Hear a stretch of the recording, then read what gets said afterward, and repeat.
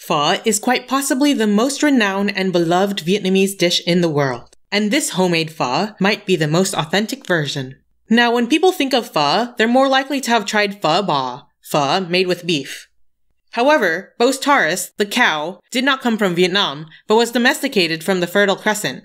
What is native is the water buffalo, Bubalus bubalis, in Vietnam in particular, it'd be the swamp type buffalo, although even that might be disputable since the domestication of such an animal purportedly happened in India 5,000 years ago and in China 4,000 years ago. I have no idea whether they domesticated the animal in Vietnam itself.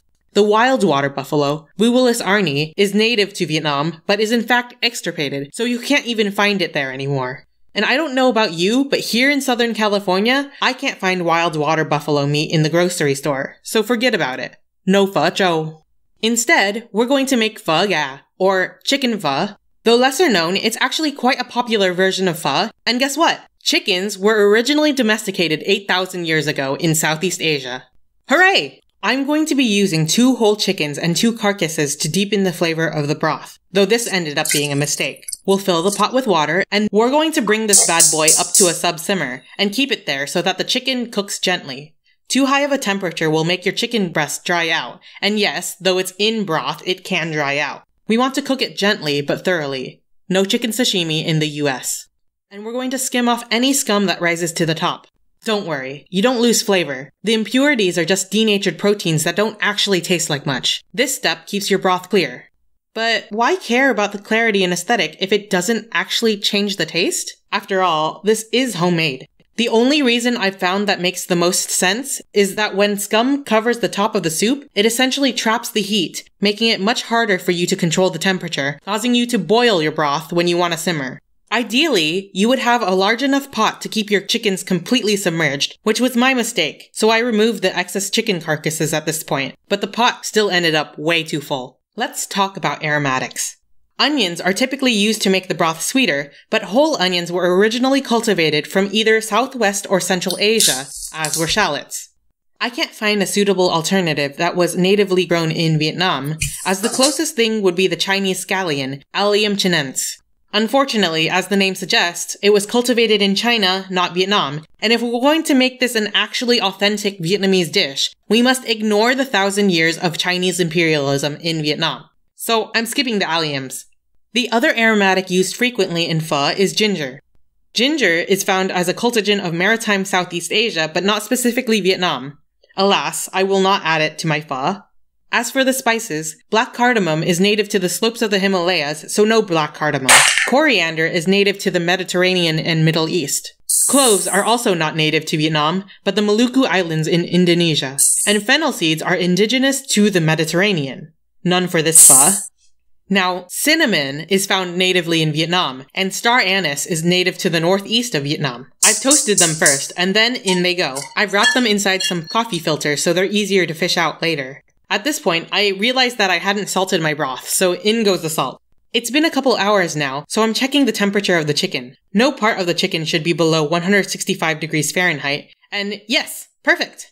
The chicken is ready to be removed from the broth. I've done so and re-added the carcasses I didn't use and topped off with more water. I'm going to let the broth sit and develop more chickeny flavor as I let the meat cool before I shred it. A few more hours later, and the broth has developed a deeper chicken flavor. I'm tasting it to check and adjust its salt levels. Right now, the broth is still kind of bland, so of course, we add a salty umami bomb in the form of fish sauce, which is traditionally made in Vietnam from anchovies caught off the coast and salts from the sea.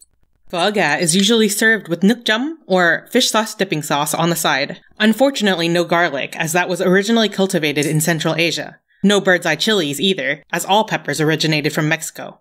And as we've mentioned earlier, no ginger. We're going to add boiling water to dissolve some cane sugar, as sugarcane grows native to South and Southeast Asia. We're going to add fish sauce and then some lime, which originated from Southeast Asia. For garnish, we'd normally have bean sprouts, but mung beans were originally domesticated in India, so no bean sprouts. Culantro, or ngò gai, is native to Mexico, and as we previously discussed, as are chili peppers. Thai basil is native to Southeast Asia, so that and lime are the only things we'll have to garnish this pho.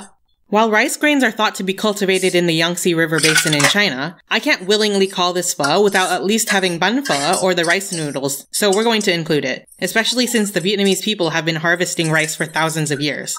I bought these from my local Asian market. We're going to boil them in a separate pot until they soften, and then strain them and rinse them with cold water to stop them from sticking together and overcooking. And we're done. Every single one of these ingredients could have been natively found in Vietnam, so it must be the most authentic, right? What makes this pho more authentic than any other variation of pho out there? There's so many different varieties of pho, from northern or southern style phos and everything in between, to the phos made from other diasporic Vietnamese who worked with the ingredients they had locally available, trying to match the palates that they grew up with, trying to find that taste of home. After all, the cinnamon I got is from a Mexican market and is not the Saigon cinnamon found in Vietnam, and the cane sugar I used is also from Mexico. What makes a version more authentic than another? While I grew up in one of the largest Vietnamese enclaves in the world outside of Vietnam, my taste memory of pho is different, built in some ways by a war that ended in 1975. And with so many of the community displaced, of course our tastes diverged to reflect where we ended up. This bowl of pho, which tastes heavily of chicken and star anise, kind of feels bland, like a revisionist history of Vietnam. It ignores all of the colonial and imperial influences, and all of the trade that has ever happened in the world. It ignores the history of migration of people, or even just the spread of knowledge. In some ways, it felt like I was picking and choosing arbitrarily about what could be included and which could not, because the fact of the matter is, trade has happened for hundreds of thousands of years.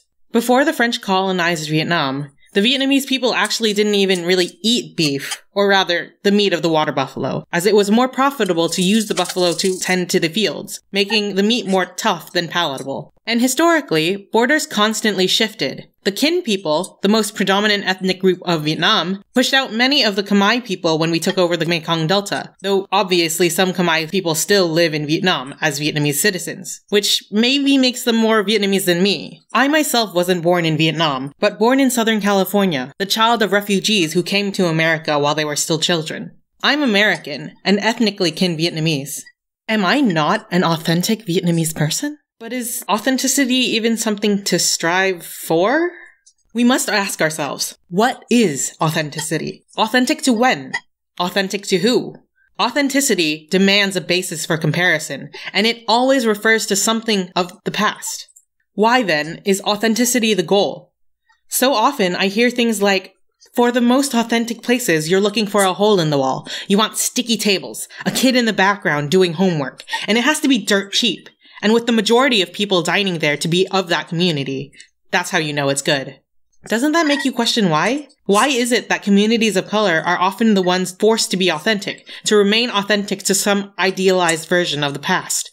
Why is it that we expect people of color to have the best, most authentic flavors, but not pay them for their labor and expertise?